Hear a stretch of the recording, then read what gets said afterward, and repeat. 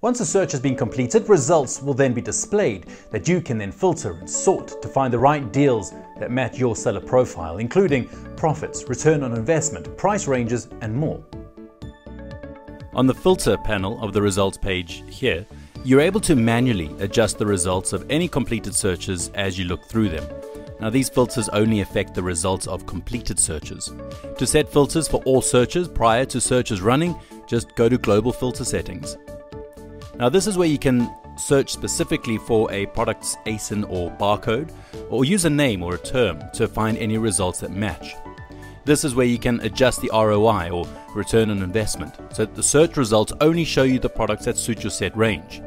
Likewise, here you're able to set the profit range in dollar or pound terms and only see the results that match your preferences. This is the option uh, where you can view your results filtered by sales rank as either a percentage with an accompanying slider to adjust the specific percentages to your preference, or as a number expressed between 1 and 1.5 million, again with a slider to set your preferences.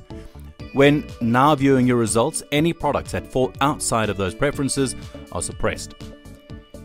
Then you have a match accuracy slider here, which will determine the level of accuracy in your results between the supplier product and the Amazon product. This is set at a default of high, meaning that the number of mismatches shown will be minimal. You're able to move this slider to show more products, but with a decreasing level of accuracy, meaning you'll have a lot more products to look through, but a higher amount of them will potentially be mismatches.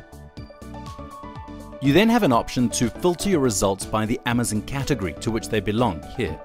Now, the default being that all categories are shown, but with a drop down menu for you to select a single category. Now this here gives the same type of filter but for specific retailers.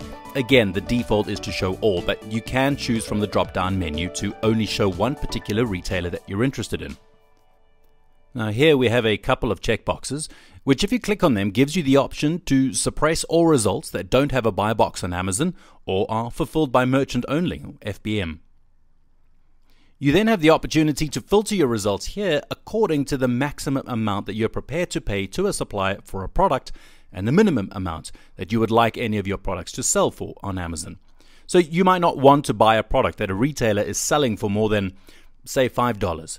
But equally, you don't want to see any result where an item is selling for less than $8 on Amazon.